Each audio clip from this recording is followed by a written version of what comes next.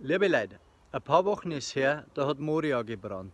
Und wir haben eine Soforthilfe angestoßen und die Soforthilfe sollte 1000 Schlafsäcke und 1000 Hygienepacks liefern. Stattdessen ist in kurzer Zeit das Vierfache zusammengekommen, konkret in vier Tagen und ein Haufen Spenden. Das ist Wahnsinn und das alles aus Regensburg und Umgebung. Ich finde, das war irre. Und weil das sogar gelaufen ist, hat uns die Attica Human Support angefragt, das ist der größte Logistiker unten, ob wir wieder eine Winterhilfe anstoßen wollen.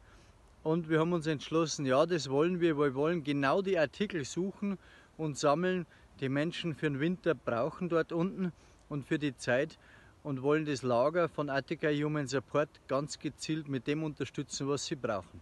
Das heißt, wir wollen bis Weihnachten für 30.000 Flüchtlinge für jeden wieder ein Care-Paket liefern.